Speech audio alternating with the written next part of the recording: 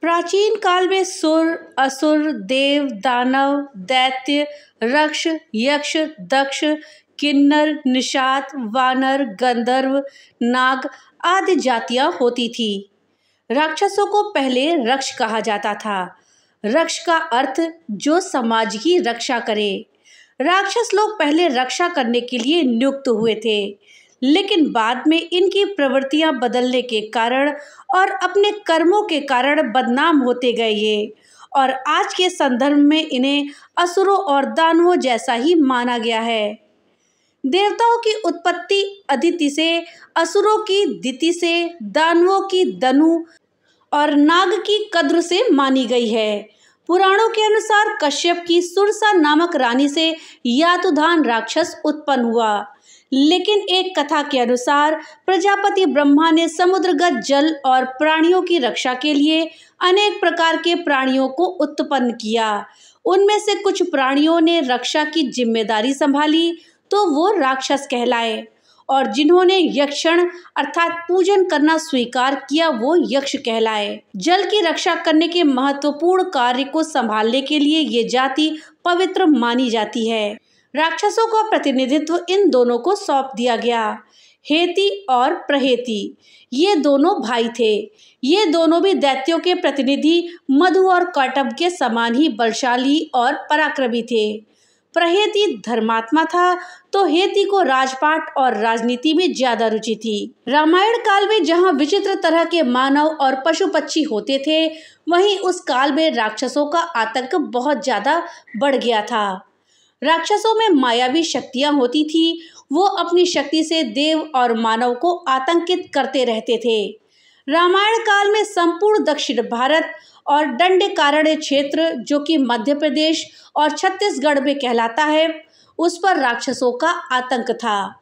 दंड नामक राक्षस के कारण ही इस क्षेत्र का नाम दंडकारण्य पड़ा था। दोस्तों, चलिए जानते हैं कि रामायण काल के वो कौन से राक्षस थे, जिनका डंका बजता था। और जिन लोगों ने रामायण काल में आतंक फैला के रखा हुआ था, इस जानकारी के लिए वीडियो में हमारे साथ अंत तक बने रहिएगा, जिससे कि आपको सही और सटीक जानकारी प्राप्त हो पाए। दोस्तों, रामायण काल के राक्षसों को जानने से पहले हमें पहले उनकी उत्पत्ति की कथा को जानना होगा कि आखिर उनकी उत्पत्ति कैसे हुई। प्राचीन काल में राक्षसों का प्रतिनिधित्व दो लोगों को सौंपा गया था, वो थे हेती और प्रहेती। ये दोनों ही भाई थे। हेती ने अपने साम्राज्य विस्तार के हेतु काल की पुत्री भया से विवाह किया। भया से उसके विद्युत केश नामक एक पुत्र का जन्म हुआ। उसका विवाह संध्या की पुत्री सालक टंकटा से हुआ। माना जाता है कि सालक टंकटा व्यभिचारिणी थी। इस कारण उसका जब पुत्र जन्मा तो उसे लावारिस छोड़ दिया गया। विद्युत केश ने भी उस पुत्र की यह जानकर कोई परवाह नहीं की कि ये नहीं मालूम था कि वो किसका पुत्र था। बस यही से राक्षस जाति में बदलाव आ गया। शिव और माता पार्वती की उस अनाथ बालक पर नज़र पड़ी और उन्होंने उसको सुरक्षा प्रदान करी। उस अबोध बालक को त्याग देने के कारण माता पार्वती ने शाप दे दिया कि अब से राक्षस जाति की स्त्रियाँ जल्द गर्भ धारण करेंगी और उनसे उत्पन्न बालक तत्काल बढ़कर माता के समान अवस्था धारण करेगा। इस शाप से राक्षसों में शारीरिक आकर्षण कम, विकरालता ज़्यादा रही। शिव और पार्वती ने उस बालक का नाम सुकेश रखा। शिव के वरदान के कारण वो निडर था। वो निर्भीक होकर कहीं भी विचरण कर सकता था। शिव ने उसे एक विमान भी दिया था। सुकेश ने गंधर्व कन्या देववती से विवाह किया। देववती से सुकेश के तीन पुत्र हुए, माल्यवान, सुमाली और माली। इन तीनों के कारण राक्षस जाति को विस्तार और प्रसिद्धि प्राप्त हुई। इन तीनों भाइयों ने शक्ति और ऐश्वर्य प्राप्त करने के लिए ब्रह्मा जी की घोर तपस्या करी। ब्रह्मा जी ने इन्हें शत्रुओं पर विजय प्राप्त करने और तीनों भाइयों में एकता और प्रेम बनाए रखने का वरदान दिया। वरदान के प्रभाव से ये तीनों भाई अहंकारी हो गए। तीनों भाइयों ने मिलकर विश्वकर्मा से त्रिकूट पर्वत के निकट समुद्र तट पर लंका का निर्माण कराया और उसे अपने शासन का केंद्र बनाया। इस तरह उन्होंने राक्षसों को एकजुट करके राक्षसों का आधिपत्य स्थापित किया और उसे राक्षस जाति का केंद्र भी बनाया। लंका को उन्होंने धन और वैभव की धरती बना दिया और यहाँ तीनों राक्षसों ने राक्षस संस्कृति के लिए विश्व विजय की कामना करी। उनका अहंकार बढ़ता गया और उन्होंने यक्षों और देवताओं पर अत्याचार करना शुरू कर दिया। जिससे संपूर्ण धरती पर आतंक का राज कायम हो गया। इन्हीं तीनों भाइयों के वंश में आगे चलकर राक्षस जाति का विकास हुआ। तीनों भाइयों के वंशज में माल्यवान के वज्र, मुष्टि, धीरुपार्श्व, दुर्मुख, सप्तवहन, यज्ञकोप मत उन्मत्त नामक पुत्र हुए और अनला नामक एक कन्या हुई। सुमाली के प्रहस्त अकनपन, विकट, कालिकामुख, धूम्राश, दंड, सुपार्श्व, सहादी, प्रधस, भास्कर नामक पुत्र तथा रांका, पुंडुपोत्कटा, कैकसी, कुभिनशी नामक पुत्रियाँ हुई। इनमें से कैकसी रावण की माँ थी माली रावण के नाना थे। रावण ने इन्हीं के बलबूते पर अपने साम्राज्य का विस्तार किया और अपनी शक्तियाँ बढ़ाई। माली के अनल, अनिल हर और संपात्य नामक चार पुत्र हुए। ये चारों पुत्र रावण की मृत्यु पश्चात विभीषण के मंत्री बने। रावण राक्षस जाति का नहीं था। उसकी माता राक्षस जाति की थी, लेकिन उसके पिता यक्ष जाति के ब्राह्मण थे। रावण का अपने नाना की ओर झुकाव ज़्यादा था, इसलिए उसने देवों को छोड़कर राक्षसों की उन्नति के बारे में ज़्यादा सोचा। रावण एक कुशल राजनीतिज्ञ सेनापति और वास्तुकला का मर्मज्ञ होने के साथ साथ ब्रह्मज्ञानी तथा बहुविद्याओं का जानकार था। राक्षसों के प्रति उसके लगाव के चलते उसे राक्षसों का मुखिया घोषित किया गया था। रावण ने लंका को नए सिरे से बसाकर राक्षस जाति को एकजुट किया और फिर से राक्षस राज कायम किया। उसने लंका को कुबेर से छीना था। उसे मायावी इसलिए कहा जाता था कि वह इंद्रजाल तंत्र, सम्मोहन और तरह तरह के जादू जानता था। उसके पास एक ऐसा विमान था जो अन्य किसी के पास नहीं था। इस सभी के कारण सभी उससे भयभीत रहते थे। पौराणिक मान्यता के अनुसार एक श्राप के चलते असुरराज विष्णु के पार्षद जय और विजय ने ही रावण और कुंभकर्ण के रूप में फिर से जन्म लेकर धरती पर अपना साम्राज्य स्थापित किया। द्वापर युग में यही दोनों शिशुपाल और दंत वक्त्र नाम के अनाचारी के रूप में पैदा हुए थे। इनको तीन जन्मों की सजा मिली थी। रावण ने रक्ष संस्कृति के विस्तार किया। रावण ने कुबेर से लंका और उनका विमान छीन लिया। रावण ने राम की सीता का हरण किया और अभिमानी रावण ने शिव का अपमान तक किया था। विद्वान होने के बावजूद रावण क्रूर, अभिमानी, दम्भी और अत्याचारी था। दूसरा राक्षस जिसने कि रामायण काल में आतंक मचा के रखा था, वो था कालनेमी। कालनेमी राक्षस रावण का विश्वस्त अनुचर था। यह भयंकर मायावी और क्रूर था। इसकी प्रसिद्धि दूर दूर तक थी। रावण ने इसे एक बहुत ही कठिन कार्य सौंप दिया था। जब राम रावण युद्ध में लक्ष्मण को शक्ति लगने से वो बेहोश हो गए थे, तब हनुमान को तुरंत ही संजीवनी लाने को कहा गया था। हनुमान जी जब द्रोणाचल की ओर चले तो रावण ने उनके मार्ग में विघ्न उपस्थित करने के लिए कालनेमी को भेजा था। कालनेमी ने अपनी माया से तालाब, मंदिर और सुंदर बगीचा बना दिया और वह वही एक ऋषि का वेश धारण करके मार्ग में बैठ गया। हनुमान जी उस स्थान को देखकर वहाँ जलपान के लिए रुकने का मन बनाकर जैसे ही तालाब में उतरे तो तालाब में प्रवेश करते ही एक मगरी ने अकुलाकर उसी समय हनुमान जी का पैर पकड़ लिया। हनुमान जी ने उसे मार डाला। फिर उन्होंने अपनी पूछ से काल लेमे को जकड़कर उसका वध कर दिया। वीडियो में आगे बढ़ने से पहले आपसे एक छोटी सी रिक्वेस्ट है कि अगर अभी तक आपने वीडियो को लाइक नहीं किया है तो कृपया वीडियो को लाइक कर दें और ज़्यादा से ज़्यादा शेयर करें, जिससे कि ये जानकारी अधिकतर लोगों तक पहुँच पाए। और हाँ अगर चैनल पे पहली बार आए हैं तो कृपया चैनल को सब्सक्राइब कर दें और बेल आइकन दबाना ना भूलें, जिससे कि मेरी वीडियो सबसे पहले आप तक पहुँच सके।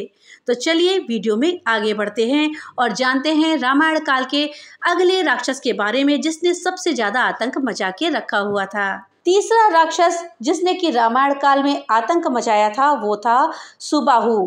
ताड़का के पिता का नाम सुकेतु यक्ष और पति का नाम सुंद था। सुंद एक राक्षस था, इसलिए यक्ष होते हुए भी ताड़का राक्षस कहलाई। अगस्त्य मुनि के श्राप के चलते इसका सुंदर चेहरा कुरूप हो गया था। इसीलिए उसने ऋषियों से बदला लेने की ठानी थी। वो आए दिन अपने पुत्रों के साथ मुनियों को सताती रहती थी। यह अयोध्या के समीप स्थित सुंदर वन में अपने पति और दोनों पुत्रों सुबाहु और मारीच के साथ में रहती थी। ताड़का के शरीर में हज़ार हाथियों का बल था। उसके कारण ही सुंदर वन को पहले ताड़का वन भी कहा जाता था। सुबाहु भी भयंकर था और वो प्रतिदिन ऋषियों के यज्ञ में उत्पात बचाता रहता था। उसी वन में विश्वामित्र सहित अनेक ऋषि मुनि तपस्या करते थे।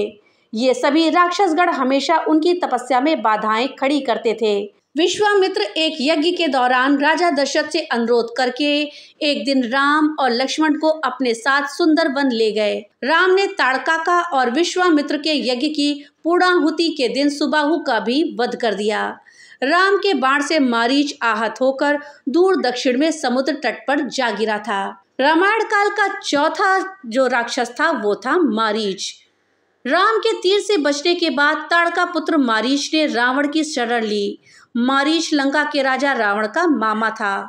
जब शूपनखा ने रावण को अपने अपमान की कथा सुनाई तो रावण ने सीता हरण की योजना बनाई। सीता हरण के दौरान रावण ने मारीच की मायावी बुद्धि की सहायता ली। रावण महासागर पार करके गोकर्ण तीर्थ में पहुँचा, जहाँ राम के डर के कारण मारीच छिपा हुआ था। वो रावण का पूर्व मंत्री रह चुका था। रावण को देखकर मारीच ने कहा कि राक्षस राज, ऐसी क्या आवश्यकता आ पड़ी जो आपको मेरे पास आना पड़ा? रावण ने गुस्से से भरकर कहा कि राम लक्ष्मण ने मेरी बहन शूप टका के नाक कान काट दिए हैं और अब हमें उनसे बदला लेना होगा। मारीच ने कहा, हे रावण, श्री रामचंद्र जी के पास जाने में तुम्हारा कोई लाभ नहीं है। मैं उनका पराक्रम जानता हूँ। भला इस जगत में ऐसा कौन है जो उनके बाड़ों के वेग को सह पाया है? रावण ने मारीश पर क्रोधित होकर कहा कि, हे मामा, तू मेरी बात नहीं मानेगा तो निश्चय ही तुझे अभी मौत के घाट उतार दूँगा मारीश ने मन ही मन सोचा, अगर मृत्यु निश्चित है तो श्रेष्ठ पुरुष के हाथ से ही मरना अच्छा होगा फिर मारीश ने पूछा, बताओ, मुझे क्या करना होगा रावण ने कहा कि, तुम एक सुंदर हिरण का रूप बनाओ, जिसके सींग रत्नमय प्रतीत हो। शरीर भी चित्र विचित्र रत्नों वाला ही प्रतीत हो। ऐसा रूप बनाओ कि सीता मोहित हो जाए। अगर वो मोहित हो गई तो ज़रूर वो राम को तुम्हें पकड़ने के लिए भेजेंगी। इस दौरान मैं उनको हर ले जाऊँगा। मारीश ने रावण के कहे अनुसार ही कार्य किया और रावण अपनी योजना में सफल रहा। इधर राम के बाण से मारीश मारा गया। रामायण काल का पांचवा राक्षस था कुंभकर्ण। ये रावण का भाई था जो छह महीने के बाद एक दिन के लिए जगता था और भोजन करके फिर सो जाता था, क्योंकि इसको ब्रह्मा जी ने निद्रासन का वरदान दिया था। युद्ध के दौरान किसी तरह कुंभकर्ण को जगाया गया। कुंभकर्ण ने युद्ध में अपने विशाल शरीर से वानरों पर प्रहार करना शुरू कर दिया। इससे राम की सेना में हाहाकार बच गया। सेना का मनोबल बढ़ाने के लिए राम ने कुंभकर्ण को युद्ध के लिए ललकारा और भगवान राम के हाथों कुंभकर्ण वीर गति को प्राप्त हुआ। रामायण काल का छठा राक्षस था कबंध। सीता की खोज में लगे राम लक्ष्मण को डंडक वन में अचानक एक विचित्र दानव दिखा, जिसका मस्तक और गला नहीं था। केवल उसकी एक आँख ही नज़र आ रही थी। वो विशाल काय और बहुत ही भयानक था। उस विचित्र दैत्य का नाम था कबंध। कबंध ने राम लक्ष्मण को एक साथ पकड़ लिया। राम और लक्ष्मण ने उसकी दोनों भुजाएँ काट डाली। कबंध ने भूमि पर गिरकर पूछा कि आप कौन वीर हैं? परिचय जानकर कबंध बोला, ये मेरा भाग्य है कि आपने मुझे बंधन मुक्त कर दिया। उसने कहा, मैं दनु का पुत्र कबंध, बहुत ही पराक्रमी तथा सुंदर था। राक्षसों जैसी भीषण आकृति बनाकर मैं ऋषियों को डराया करता था, इसलिए मेरा ये हाल हो गया था। रामायण काल का सातवां राक्षस था विराध। विराध दंडक वन का ही राक्षस था। सीता और लक्ष्मण के साथ राम ने दंडक वन में प्रवेश किया। वहाँ पर उन्हें ऋषि मुनियों के अनेक आश्रम दृष्टिगत हुए।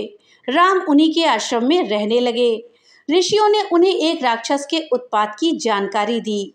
राम ने उन्हें निर्भीक किया वहाँ से उन्होंने महावन में प्रवेश किया, जहाँ नाना प्रकार के हिंसक पशु और नरभक्षक राक्षस निवास करते थे। ये नरभक्षक राक्षस ही तपस्वियों को कष्ट दिया करते थे। कुछ ही दूर जाने के बाद बागंबर पहने हुए एक पर्वताकार राक्षस दिखाई दिया। वो राक्षस हाथी के समान चिघाड़ता हुआ सीता पर झपटा। उसने सीता को उठा लिया और कुछ दूर जाकर खड़ा हो गया। उसने राम और लक्ष्मण पर क्रोधित होते हुए कहा, तुम धनुष बाण लेकर दंडक वन में घुस आए हो। तुम दोनों कौन हो? तुमने क्या मेरा नाम नहीं सुना? मैं प्रतिदिन ऋषियों का मांस खाकर अपनी भूख को शांत करने वाला विराध हूँ। तुम्हारी मृत्यु ही तुम्हें यहाँ लेकर आई है। मैं तुम दोनों का अभी रक्तपान करके इस सुंदर स्त्री को अपनी पत्नी बनाऊँगा। विराट ने हँसते हुए कहा, यदि तुम मेरा परिचय जानना ही चाहते हो तो सुनो। मैं जय राक्षस का पुत्र हूँ। मेरी माता का नाम शतहृदा है। मुझे ब्रह्मा जी से ये वरदान प्राप्त है कि किसी भी प्रकार का अष्ट शस्त्र ना तो मेरी हत्या कर सकता है और ना ही उनसे मेरे अंग छिन्न भिन्न होंगे। यदि तुम इस स्त्री को मेरे पास छोड़कर चले जाओगे तो मैं तुम्हें वचन देता हूँ कि मैं तुम्हें नहीं मारूँगा। राम और लक्ष्मण ने उससे घोर युद्ध किया और उसे हर तरह से घायल कर दिया। फिर उसकी भुजाएँ भी काट दी। तब राम बोले, लक्ष्मण, वरदान के कारण ये दुष्ट मर नहीं सकता। इसलिए यही उचित है कि हमें भूमि में गड्ढा खोदकर इसे बहुत गहराई में गाड़ देना चाहिए। लक्ष्मण गड्ढा खोदने लगे और राम विराट की गर्दन पर पैर रखकर खड़े हो गए। तब विराट बोला, हे प्रभु, मैं तुम्बूर नामक गंधर्व हूँ। कुबेर ने मुझे राक्षस होने का श्राप दिया था। मैं श्राप के कारण ही राक्षस हो गया था। आज आपकी कृपा से मुझे उस शाप से मुक्ति मिल रही है। राम और लक्ष्मण ने उसे उठाकर गड्ढे में डाल दिया और गड्ढे को पत्थर आदि से पाट दिया। आठवां राक्षस रामायण काल का था अहिरावण। अहिरावण एक असुर था। अहिरावण पाताल में स्थित रावण का मित्र था, जिसने युद्ध के दौरान रावण के कहने से आकाश मार्ग से राम के शिविर में उतरकर राम लक्ष्मण का अपहरण कर लिया था। जब अहिरावण श्री राम और लक्ष्मण दोनों को देवी के समक्ष बलि चढ़ाने के लिए विभीषण के भेष में राम के शिविर में घुसकर अपनी माया के बल पर पाताल ले आया था, तब श्री राम और लक्ष्मण को मुक्त कराने के लिए हनुमान जी पाताल लोक पहुँचे और वहाँ उनकी भेंट उनके ही पुत्र मकर ध्वज से हुई। उनको मकर ध्वज के साथ लड़ाई लड़नी पड़ी, क्योंकि मकर ध्वज अहिरावण का द्वारपाल था। मकर ध्वज ने कहा अहिरावण का अंत करना है तो इन पाँच दीपकों को एक साथ ही एक समय में बुझाना होगा। ये रहस्य ज्ञात होते ही हनुमान जी ने पंचमुखी हनुमान का रूप धारण किया। उत्तर दिशा में वराह मुख दक्षिण दिशा में नरसिंह मुख, पश्चिम में गरुण, आकाश की ओर हैग्रीव और पूर्व दिशा में हनुमान मुख। इन पाँच मुखों को धारण कर उन्होंने एक साथ सारे दीपकों को बुझाकर अहिरावण का अंत कर दिया और श्री राम और लक्ष्मण को मुक्त किया। हनुमान जी ने अहिरावण का वध करके प्रभु श्री राम और लक्ष्मण को मुक्त कराया और मकर ध्वज को पाताल लोक का राजा बना दिया और उसे धर्म के मार्ग पर चलने की प्रेरणा दी। नवा राक्षस जो कि रामायण काल में बहुत ही ज़्यादा आतंक मचाए थे, वो था खर और दूषण। ये दोनों रावण के सौतेले भाई थे। ऋषि विश्वा की दो और पत्नियाँ थीं। खर पुष्पोटकटा से और दूषण वाका से उत्पन्न हुआ था, जबकि कैकसी से रावण का जन्म हुआ। खर दूषण को भगवान राम ने मारा था। खर और दूषण के वध की घटना रामायण काल के अरण्य कांड में मिलती है। शूपनखा की नाक कान काट लेने के बाद वो खर और दूषण के पास गई थी। खर और दूषण ने अपनी अपनी सेना तैयार करके वन में रह रहे राम और लक्ष्मण पर हमला किया, लेकिन दोनों भाइयों ने मिलकर अकेले ही दोनों का वध कर दिया। रामायण काल का दसवां जो राक्षस था, वो था मेघनाथ मेघनाथ को इंद्रजीत भी कहा जाता है, क्योंकि उसने स्वर्ग पर आक्रमण करके उस पर अपना अधिकार जमा लिया था। मेघनाथ बहुत ही शक्तिशाली और मायावी था। उसने हनुमान जी को बंधक बनाकर रावण के समक्ष प्रस्तुत करा था। रावण के पुत्रों में मेघनाथ सबसे अधिक पराक्रमी था। माना जाता है कि जब इसका जन्म हुआ, तब इसने मेघ के समान गर्जना करी थी, इसलिए इसका नाम मेघनाथ हुआ। मेघनाथ ने युवावस्था में ही दैत्यों के गुरु शुक्राचार्य की सहायता से सप्त यज्ञ किया था और शिव के आशीर्वाद से दिव्य रथ दिव्यास्त्र और तामसी माया प्राप्त करी थी और उनसे राम की सेना के साथ मायावी युद्ध किया। कभी भी अंतर्धान हो जाता था वो तो कभी प्रकट हो जाता था। विभीषण ने कुबेर की आज्ञा से गुहा जल श्वेत पर्वत से लाकर दिया था, जिससे नेत्र धोकर अदृश्य को भी देखा जा सकता था। श्री राम की ओर से सभी प्रमुख योद्धाओं ने इस जल का प्रयोग किया था, जिससे मेघनाथ से युद्ध किया जा सके। इसने राम लक्ष्मण पर दिव्य बाढ़ चलाया तो नागपाश में बदल गया। इससे राम लक्ष्मण मूर्छित होकर गिर पड़े। राक्षस सेना में खुशी की लहर छा गई, जबकि वानर सेना का मनोबल टूटने लगा।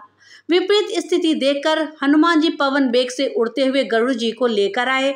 गरुड़ जी ने नागपाश को काटकर राम लक्ष्मण को बंधन मुक्त किया।